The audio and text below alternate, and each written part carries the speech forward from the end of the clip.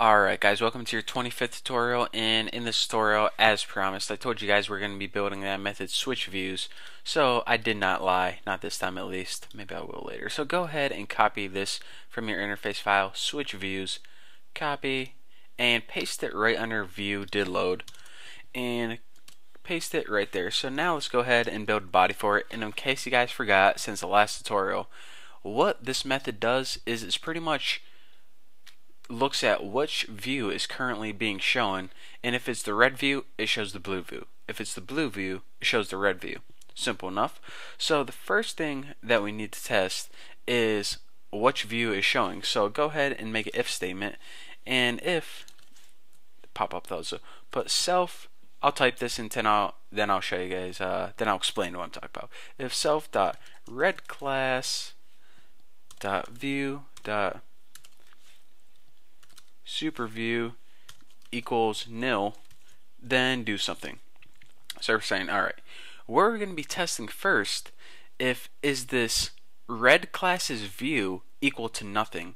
So if this red class's view is not being shown or it doesn't exist, then this is going to be equal to nothing. So if this is the case, then we want the red code to show up because pretty much if this red view is equal to nothing, then by default it means that the blue view is already on the screen, since that was the default. So we're saying, alright, if that red view is equal to nothing, then what do we want to do?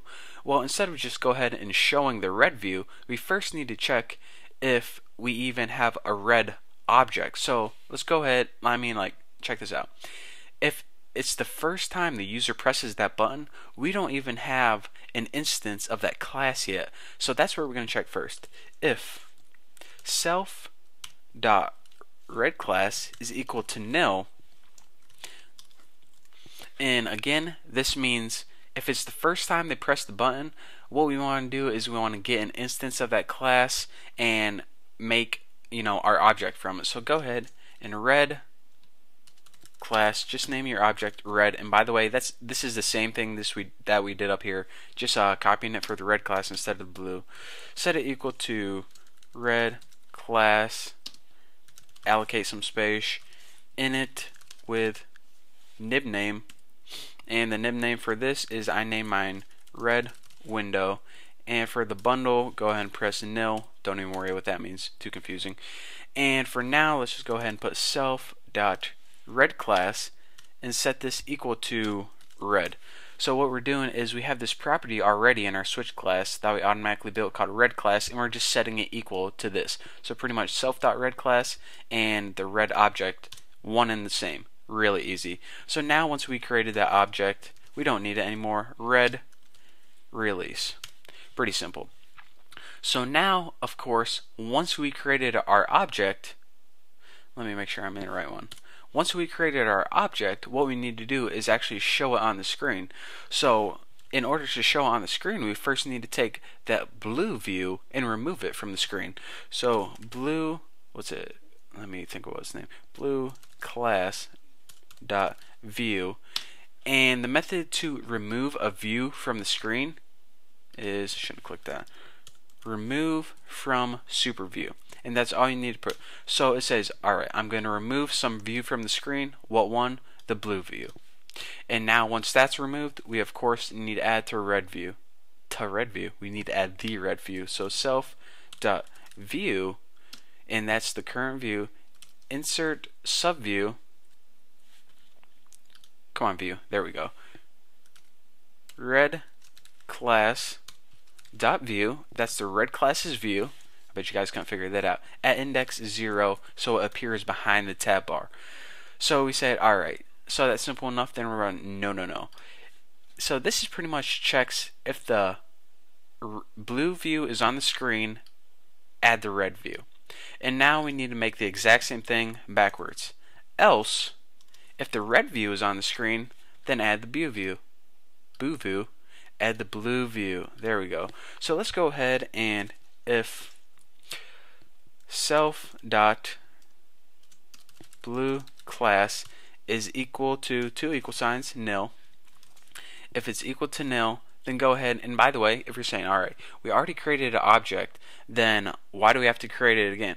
Well, usually you wouldn't have to, but just in case your object gets flushed from memory, you want to create it again just to make sure you have it. And this happens sometimes if you have a huge project. Um, sometimes your iPod is going to delete memory automatically to make room for new stuff. So anyways, just go ahead and create your new object again. So blue plus, we'll get practicing creating objects. How cool is that? Uh, name your object blue again. It can be the same as before. And of course, this is going to be an object from the blue class allocate some space for it and you know that init with nib name tab and of course the nib name is blue window.xib but don't include the xib and bundle set this equal to nil but put that outside just like that.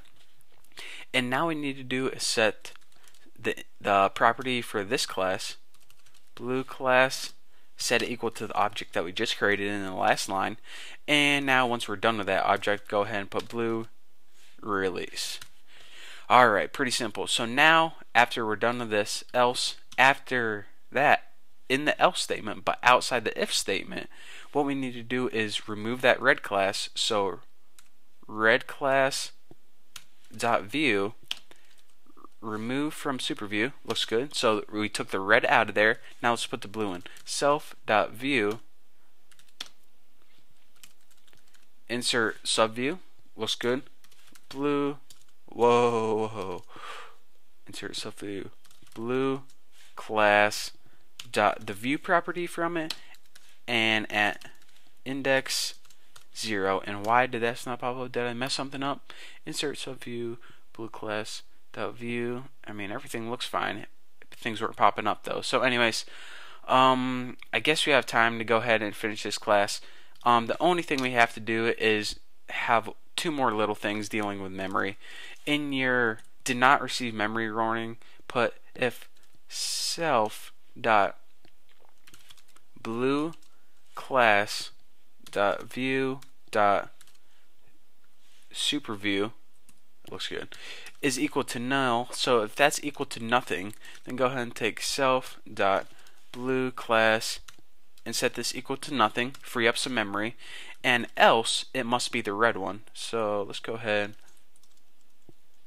and we really didn't need those uh, curly braces, but if self dot red class set this equal to nil, and this pretty much uh, just frees up some memory, like I said before.